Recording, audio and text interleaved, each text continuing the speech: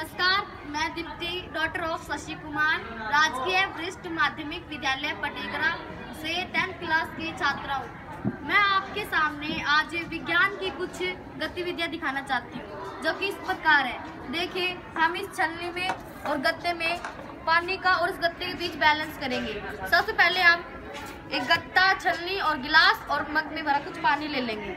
अब हम थोड़ा सा पानी डालेंगे गिलास में। डाल लिया।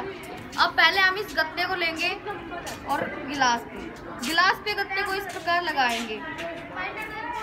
और अपने हाथ से अच्छे से इस गत्ते को दबाएँगे और इसको उल्टा कर देंगे।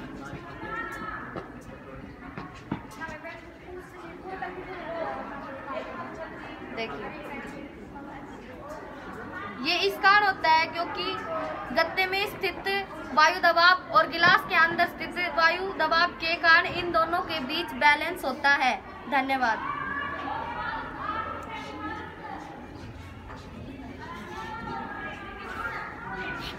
हमने गत्ते से किया, अब हम छन्नी को लेंगे।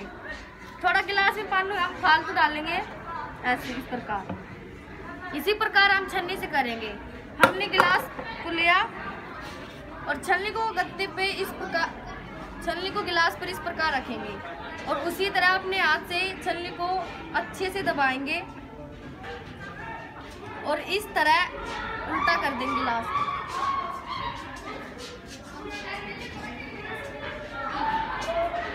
देखिए, अब पानी बिल्कुल भी इस छलनी से नीचे नहीं जा रहा है।